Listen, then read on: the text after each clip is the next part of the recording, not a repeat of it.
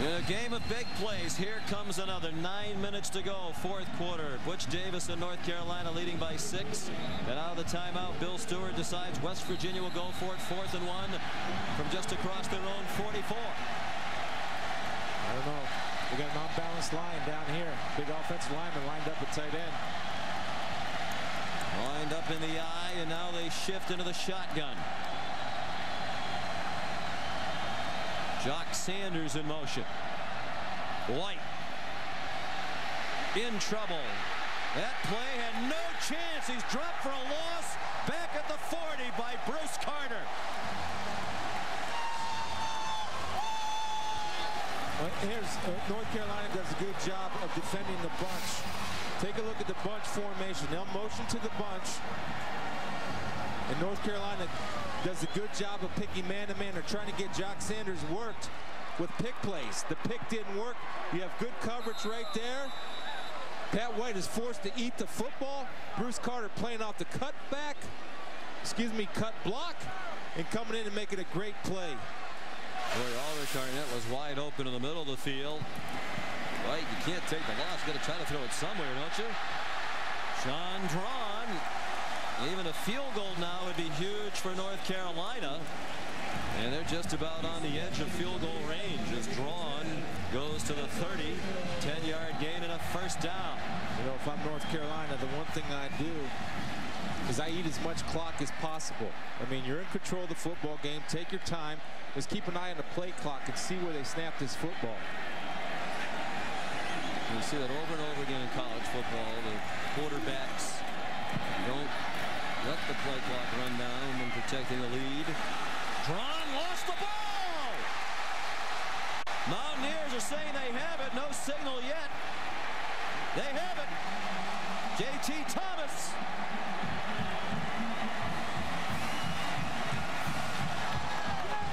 Mountaineer man's happy. He's happy the Draughn's holding the ball loose. J.T. Thomas, known as the most explosive player on that West Virginia Mountaineer defense comes up with a big play. Let's see that football. It's out there loose. No, he's got it in there pretty tight. They do a good job of stripping it out. Gang tackling. And JT following up from the backside. Coming up. Sands, the true freshman, rips it out there at the end of the play. Tar Heel fans want to review. They think that perhaps Draughn was down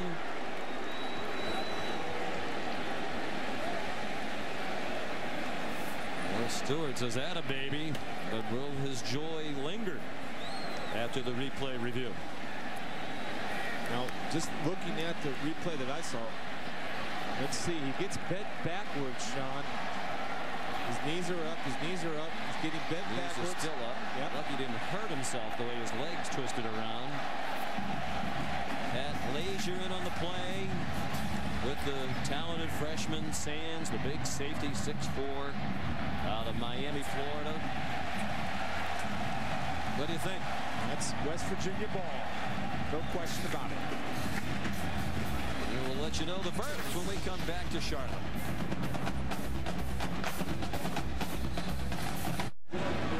Shaun Draughn's had a fumbling problem in recent weeks. That's his fourth in the last three ball games. First turnover for North Carolina. The call stood upon review. It was a fumble and a recovery by West Virginia. From their own 31, Pat White all day to throw has his receiver. Jock Sanders breaks free to the 29-yard line of North Carolina. Jordan Hemby the tackle, 41 yards. First down, West Virginia. Well, it all starts with protection.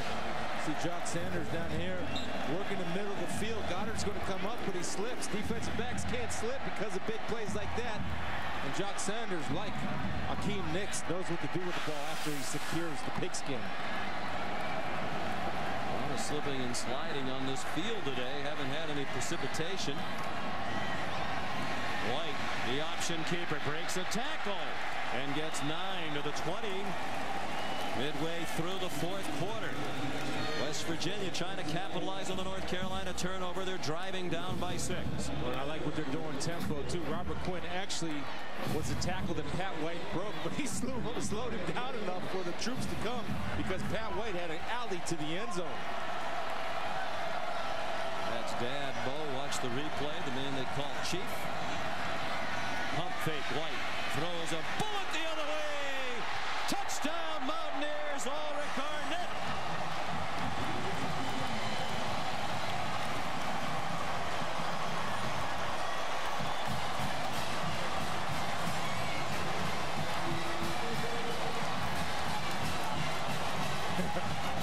See the Carolina fans disappointed. You want an NFL throw? There it was. Yeah. Right there's an NFL throw. I'm a convert today. With Pat White as NFL quarterback. McAfee's missed only two PATs in his career. Pat White with a remarkable performance in his last game as West Virginia quarterback. McAfee's kickoff down to Greg Little. And again, the coverage terrible for West Virginia. The return all the way to the 45. White's touchdown pass, his third of the day. To Garnett, 20 yards, has given West Virginia the lead. And it is a career passing day for Bo White, senior son.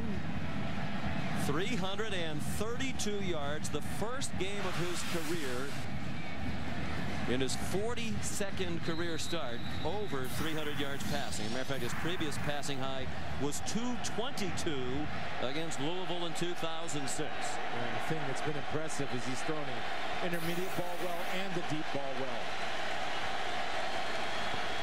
Will he go out a winner? The Tar Heels with plenty of time left, down by only one. Swing pass. Draughn would like to atone for the fumble. He gets three and then he gets chopped down by Keith Tandy. Well, Sean, you touched on it. The problem for West Virginia is every time that they score, North Carolina gets the ball at or around midfield, they never have to go the distance after kickoffs. It's a huge problem, especially when it's a one-point ball game and you only need 30 yards, 35 yards to get in field goal position. Stewart's walking out of the field. The officials are resetting the play clock. Bill's taken some criticism this year as the Mountaineers did not live up to the expectations many had for them. It would be a huge win for him. A year ago after the Fiesta Bowl, he was the most popular man in the state. Bobby Rome run by John Holmes short of the first down by four yards. And now a big third down for TJ Yates and North Carolina with 6.15 to go. Bill Stewart, one of the first hires he made was Doc Holliday, who's known around the country as an excellent recruiter. And that's what you have to do to build. He's having fun. He loves his job. So does Butch Davis, by the way. He's doing a great job today. Yeah, these are two good guys involved in a memorable bowl game today. Four-man rush. First down. Hakeem Nicks back to center stage with his eighth catch of the game. It's to the 43-yard line. By the way, White's 332 yards passing is also the Meineke Bowl record. He shattered Riley Skinner's mark of a year ago. It's working to find the hole. All you have to do is find him. I mean, they're going to him. You have safeties over the top. If you have underneath coverage, run to him. Don't cover dirt. Cover man. Nick's one of the best fourth quarter receivers in the country. 5.20 to go. Draughn forced inside by Tandy. Give him credit. Young man's played very little this year. Had to play today out of need without Brandon Hogan and Sidney Glover. And he held his ground to stop that play just about at the line of scrimmage. Uh, a good open field tackle.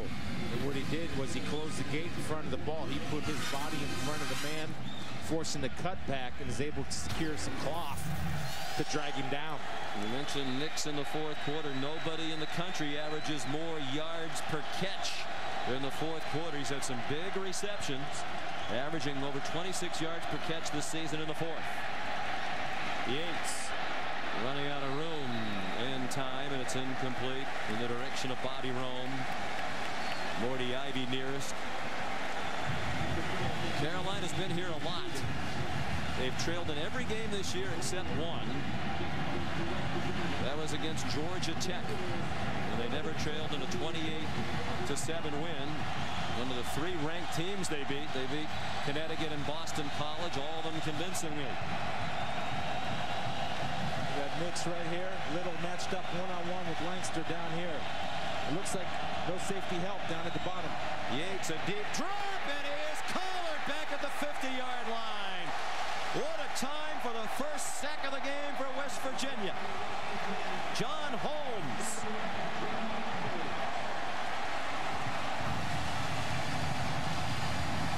What a big play from John Holmes coming from up top. Right there, coming around on the blitz and the stunt. He gets his vision and sight set on. He finds another gear and is able to close the distance quite nicely on TJ Yates. Holmes, huge play for West Virginia. And North Carolina will punt with four minutes to go. And it is a shank off the side of Brown's foot. Got a good bounce. Looked like it was going to cross the boundary and kick back to the 22. 29-yard punt. This is why I love Bowl Week, Capital One Bowl Week. These games mean something. I don't care what anybody says. These bowl games mean a lot to a lot of people, and the kids are playing like it's national championship. College football at its finest, friends. 3.45 to go. West Virginia trying to run out the clock. They start with the handoff up the middle to Noel Devine, and Da'Norris Searcy made the tackle highest scoring bowl game of this bowl season was the back and forth affair in Albuquerque. Colorado State defeated Fresno State. Notre Dame put 49 on Hawaii. And this one it's 31-30. Hard to believe, Chris, this is just the second meeting all time between these two proud football programs. They're not far apart. And yet the only meeting was in the Gator Bowl in 97, a game won by North Carolina. You, you see it's, it's a natural rivalry and two great support schools as far as fan goes. They're just they're, they're here and they're excited about the game. And, you know, I knew that about West Virginia and I knew that about Carolina basketball, but it's good to see the football program and the excitement and the amount of people that showed up for the Tar Heels. It's it's it's a great game. And it is what college football is supposed to be. Exciting, and they're playing with passion on both sides. And in the stands, they're cheering with passion. Mountaineers traveling well as always. Tens of thousands have descended upon Charlotte. Hoping to see their school in a record fourth straight bowl game. And Pat White become the only quarterback in college football history to win four bowl games as a starter. White trying to do it himself on second and eight fighting for every yard. Spun ahead for an extra yard to the 28. Carolina uses another timeout, leaving the Tar Heels with one with 3.27 to go. Ken Thomas made the tackle. We'll return for the finish of the Meineke Car Care Bowl right after this. Carolina down to its one timeout remaining. Career high passing day and now third down and five with West Virginia protecting a one point lead. Three and a half to go. They blitz off the corner and they have him. Looked like he might escape. But Da'Norris Searcy got enough of White to spin him down back at the 24. And it looks like they'll use their final timeout. Everett Weathers reading the mail West Virginia quarterback draw. There's Searcy coming from the outside, number 21 right there. Misses him at first, but again, the field conditions allow Searcy to come back and make the tackle after Pat White loses his footing. Pat McAfee in the punt. Bruce Carter of North Carolina has blocked four punts this year. Four in a row. Three straight against Connecticut all in one quarter. And then one against Miami. There he is, 54. Mountaineers are well aware of that. McAfee gets it off. Another good one. Oh, and a fair catch made with only one defender running down in the direction of Kendric Burney. 50-yard punt, no return. The last act of the Mountaineer by McAfee. It's a fitting conclusion to a tremendous career. Young man who got a tremendous amount of heat in West Virginia when he struggled with field goals in their shocking loss to Pitt when it looked like they were going to play for the national championship. His car vandalized, got a lot of angry messages, thought about not coming back for a senior year. And he said, were it not for Bill Stewart getting the head coaching job, he wouldn't have come back. He said, okay, coach, I'll do it for you. Good for him. And Burney had the long snapper. And Sean, the punt returner, makes the long snapper miss. And uh, it cost him some yards right there to start this final drive, or could be final drive for the Tar Heels. All they need is a field goal. Yates dumps it off short to Cooter Arnold. A four-yard gain. Still plenty of time right now. They don't have timeouts, but three minutes to go. You can see they've scored very quickly three times today. All they need is a field goal. They've tried two different freshman kickers. Casey Barth has taken over late in the year. His brother Connor, one of the best kickers in North Carolina history. Casey's a walk-on as a freshman. Second and six. Yates into traffic. Another catch. A yard short of the first down. It's the tight end Richard Quinn. And the clock runs under two and a half minutes to go. I'll tell you what they're doing with Hakeem Nicks away from the football. They have Lankster harassing him at the line of scrimmage with safety help over the top. Quick hitter, Ryan Houston, first down. They convert on third and one. The clock will stop to move the chains. 39-yard line, the line of scrimmage.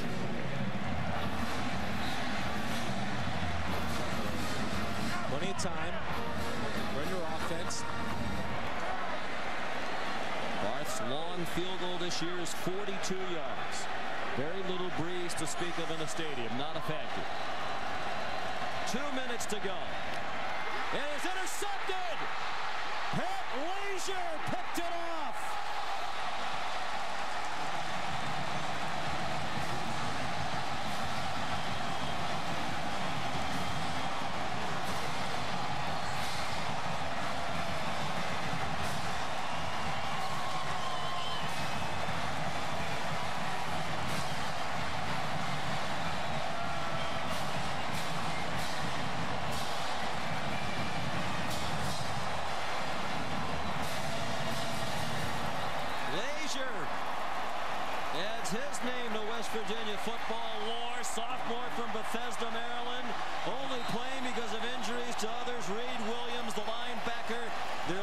Tackler a year ago, missed most of this year with shoulder surgeries.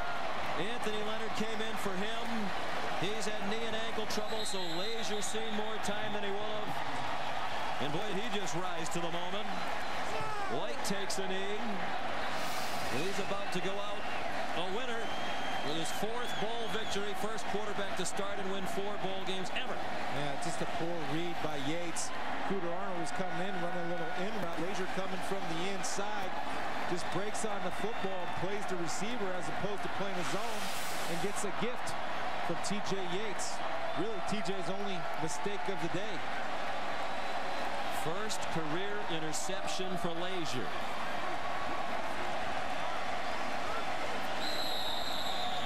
North Carolina thrived on turnovers all year. It was the turnovers late that cost them. The Draughn fumble, the Yates interception, the drop pass also hurt on the long ball to Little. That would have been a big play. And how fitting is it that Pat White goes out as the Capital One player of the game. Career high 332 yards passing. We talked at the top about could he be a quarterback at the NFL. He says he can be. He wants to be. Many think he'll be a slot receiver, maybe a third quarterback. But he might have earned at least a shot to earn a spot as a quarterback full-time on an NFL team with this performance today. And he'll get a shot to build on his performance down at the Senior Bowl in front of every NFL decision-maker's eyes. Four game, four bowl games as a starter. Pat White victorious. And huge at Alden in the Sugar Bowl, in the Gator Bowl, where he's the MVP, the Fiesta Bowl, he was the offensive player of the game. And again today in the Meineke Car Care Bowl. Huge win for Bill Stewart. They finished the year 9 and 4, disappointing year, but a nice finish after a 1 and 2 start. They held it together. Disappointment for Butch Davis, but 12 seniors, only 12 seniors on this North Carolina team. One of the youngest teams in the country. They have a lot of talent coming back, and he's a great recruiter. Yeah, and they're going to be good. They're good. I wouldn't be surprised, Sean, coming into next year. It's never too early to start talking about next year. They're a top 15, top 10 football team with the talent that he has returning. First time West Virginia's won four straight bowl games, led by Chief White's boy, Pat White. Here's Rob. Well, Pat, you, you have something you want to say before I get to the question. Started, man. This is what my man be Hogan 2-2. He down, but he ain't out. We love him. Mountaineer Nation, baby, all day. Yes, sir, B. Hogan, right here. Right here, baby. Pat, your final collegiate game, and it's a career passing day for you. What's going through your body right now? Feel good to leave Mountaineer Nation with a W. Best feeling I've had since I've been there. It just I love it. I love it. Once a Mountaineer, always a Mountaineer. It's hard to say with your career, what did you prove today? But in, in, your mind, what did you prove to a lot of people with this victory and your your personal performance? We proved that we we were down, but we're never out. As Mountaineers, we're going to fight to the end. With time left on the clock, we're going to give you everything we got. In a game of big plays, which is the biggest one that stands out with you right now? The kneel down. Best play in college football. Pat, congratulations. Thanks. For those of you who joined us late, Brandon Hogan, the player to whom he's referring, starting cornerback, did not play today. All the West Virginia folks could tell us is that he's dealing with a personal matter. We don't know any of the details. Rob Stone did his best to ascertain the details, but clearly he is in the thoughts of his teammates and coaches here today. And there's not a prouder dad in America than Bo White, senior of Daphne, Alabama. What a performance by his son in his last game. Well, great players play great, great games. Setting, and what a way to end a fabulous career. Congratulations, Pat. And I like how he reflected everything. It's all about Mountaineer Nation. What's a Mountaineer? Always a Mountaineer. Well said. Well said. White threw for 332, by far his career high. He ran for 55 yards. So he came up 26 yards short of rushing for 1,000 for the third year in a row, but he could care less about that. Memorable Meineke Car Care Bowl won by West Virginia 31-30 over a valiant North Carolina team. This has been a presentation of ESPN, the worldwide leader in sports.